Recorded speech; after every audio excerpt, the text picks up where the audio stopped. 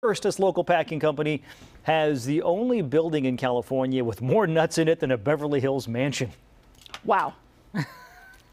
Angelo is definitely producing Uh, it's definitely Angelo's time. Court is standing by with more from Prima Noce. Yes. Okay. First things first. We do have to uh, make a little correction because last hour um, we actually had Mike Garliepp.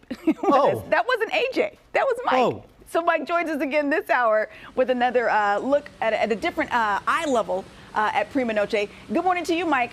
I'm sorry. We thought it was AJ last hour. Morning.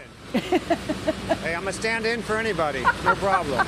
I love it. I love it. Okay, so you've taken us a, a little above the the uh, factory floor to kind of get a bird's eye view of. Is this still the sorting area? Yeah, so what we are, where we're at right now is kind of the hub of the, the processing facility. We're here on the platforms where we do electronic sorting. You're going to see machines to the left and to the right. I think you're looking at right now one of them sorting out the dark walnuts and the light walnuts. And then behind me, which you saw in the very beginning, uh, is where we do all the hand sorting. So everything we miss up here on the, the platform, uh, we have the, the last final hand touch is being applied down there with all the, the folks working hard. Now, with the sorting, what exactly are you guys looking for? Uh, contaminants or inferior No, what- walnuts? What, what we're looking for down, right, exactly. Down on the, the where the people are hand sorting is primarily cosmetic defects, Okay. things that you would look at that are just fine to eat.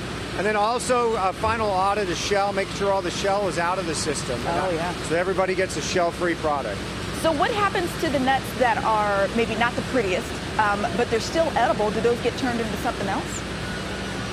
Absolutely. So what happens is that we have multiple grades, most of the uh, export quality, so nice light colored walnuts. 80% of them, in fact, from our factory are exported.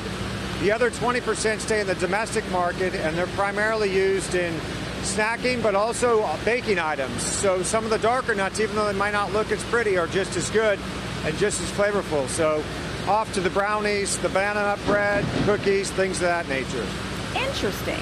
Okay, now you mentioned earlier that there's a lot of uh, nuts that are actually exported uh, out of the country. Do you know what those end up being used for that we might know here in the U.S.?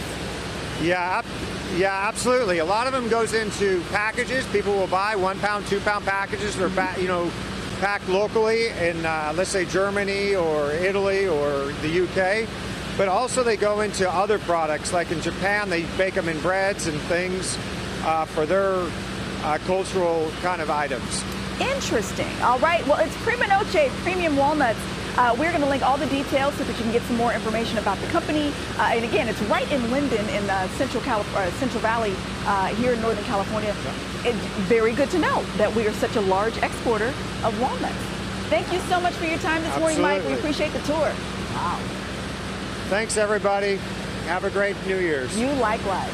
All right, John, back over to you. All right.